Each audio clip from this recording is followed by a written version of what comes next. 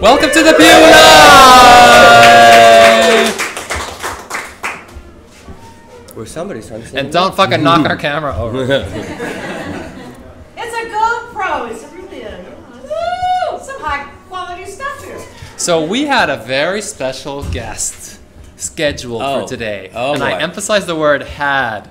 Yes, Ramon Hernandez. Hernandez. Fernandez. Yeah, the, uh, The, the director of Glory Daze, the uh, documentary that will make its premiere tonight at the Manhattan Film Festival, um, which chronicles the life and times of the New York City club scene and yours truly. yours truly. And And there, and yours truly is not speaking to the director anymore. Apparently, and the director doesn't want to, didn't want to come on the show because well- he thought we were going to ambush him or he felt ask him embarrassing he- questions. Imagine. He didn't want he didn't want me to see the documentary before uh, before he went on, and I did see the documentary before he went on. And when he found you didn't even watch the whole thing. well, I saw half of There it. was this huge fight between him and uh, Ramon about him seeing the documentary beforehand. So then Ramon sends it, and then he didn't even watch it. I'm not speaking to you. I'm not watching your documentary. no, I did actually watch it. I watched half of it. I watched it with you, and you I, said I watched like 20 minutes Right. of it. And, but I didn't want to um, watch the whole thing because I thought, well, if we're going to go see it tonight, I don't want to watch the whole thing because then,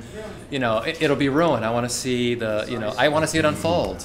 So, um, so I now that after he found out that I did see it, then he got cold feet, and I guess he thought I was going to a- ambush him, like you said, and ask him questions about some of the lies that he perpetrated in the documentary. And uh, when and so he asked me if I was going to ask they're him not about really big lies. No, They're- they're, I mean, they're little lies. One of them is sort of, but um, Mischaracterization, misrepresentation. the big the big thing is that they, he insinuates very strongly that I held a party at Limelight after committing this awful crime. That I commit, that I held a party and that I was the party was mocking the crime. And he, as Did you as bring that proof- invite? I didn't. Well, well, we- because we didn't know that he was going to do this. But uh, well, I, I have. The, but if you were here, you still wouldn't have the invite. well, because I mean, we're doing a press thing afterwards, and I had or have it for that. Corey wanted me to save it for that. So it was that. So- what was it? The blood feast. the blood feast Like uh, some of you may remember that invite. It's out on the internet. It's Google the it. invitation of Jenny eating my brain or whatever. And it um, was recreated for the Party Monster movie. I believe. right. And um, the date on that invitation is May 17th, 1995. The crime was in 1996. So, So in fact, Your Honor, yeah. the party happened almost a year before the crime. Right. So, and But ever so He knew that conveniently for was gonna- narrative purposes, it got switched around. well, he, he, he never says the date. He just, But he flashes the invite on the screen, so he's saying, and then he had a party, but- Right. and then it has the date right on, on the invite, so he's saying well, you have to look very closely, you know, or freeze frame the. pay no attention to that date on the Right. corner. So when he found out that I was going to bring that up, he um, he stood us up and he said, "I'm not coming." Coward. Yeah. Coward, right? yeah well. So um. Can I tell my Michael Musto story? So well, we're gonna tell no, we're gonna we're gonna tell our other story about uh, Ramon. One of the other things that we kind of wanted to bring up while he was here was this trick that he played on Michael and James St. James. Oh. It was a very clever trick, sleight of hand with microphones.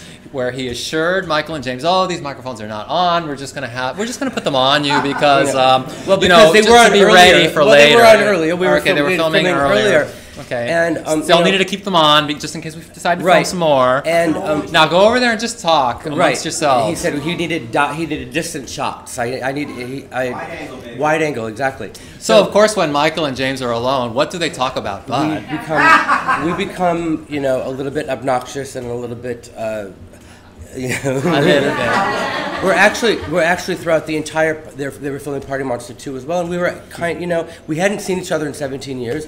And this is a long time. This was a year ago almost. We hadn't seen each other, and the first time we were together, and there was cameras on us. Of course, we're going to be obnoxious and And what do you talk about? well, we were making fun of basically everybody who was around us, and um, um, but And one person who's not. well, not making fun of it. We were in a Gal- it was gallows it was humor. Gallows humor. We were in a jovial mood, and we were sort of Standing by the Hudson River. la- laughing at everything and talking about the crime and everything.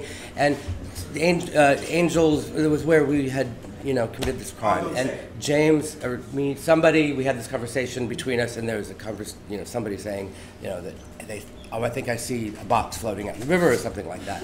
And um, James Caught on camera. and, and, and James started laughing, and um, Ramon came over and said, you're, you're, you're so lucky that I'm the one making this documentary, um, that I'm family. Um, I understand what you're doing. I understand that this is gallows humor and this is the way that you handle these situations. But if I was anybody just else, your coping mechanism- if, if I was right? World of Wonder, uh, I would use this footage and I would, I would make you look awful. And, And I'd um, make a fortune off of and it. I would make a fortune off of it, like World of Wonder did. Um, but thank God that I'm not World of Wonder, and I'm... No, got, in- sirree. I got integrity. Never gonna use it. Right, and so it's in the documentary, and um, and he knew that I was going to bring that up too, so he ran. and He's scared. So Coward. Can I tell my Michael Musto story? We'll be right back.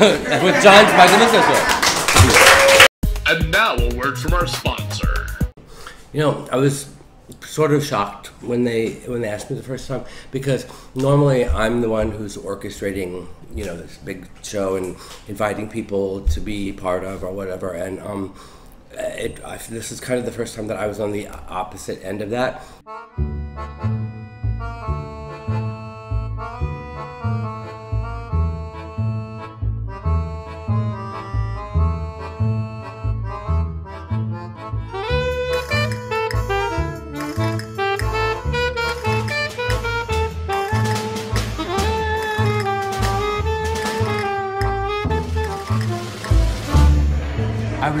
honestly I was I was busy focusing on my on my artwork and uh, cute guys butts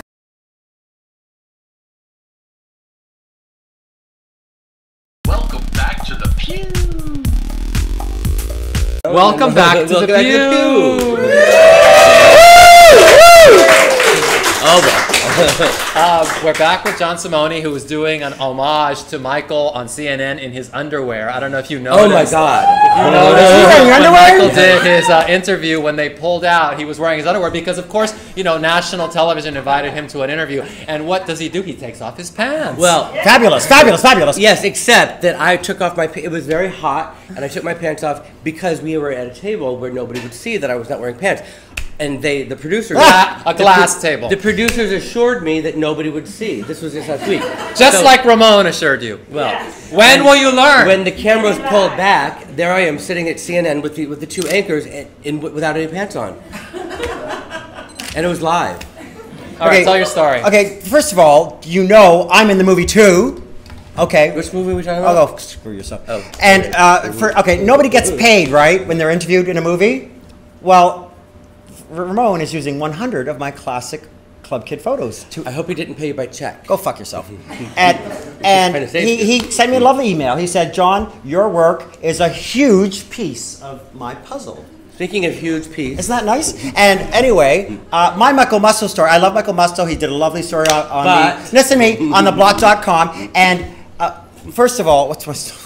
Just tell it fast. Yes, he wanted he wanted to use one of my photos from the movie for his out.com column, national syndicate, national gay paper. Oh, but we can't pay you. And I told him, Michael, tell your lame ass online editors if they don't have 200 measly bucks for to pay for my photo, tell them to go fuck themselves. But please say it to them nicely, okay?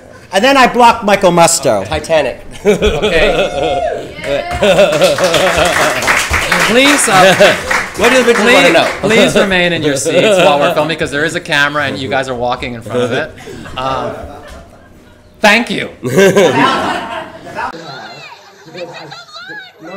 Bitches What want do the bitches want to know? Bitches want to know why John Simone is taking off his clothes on the View. My column was called Exposed in Alex. Alex magazine in Toronto for Alex. It should be called hijacked.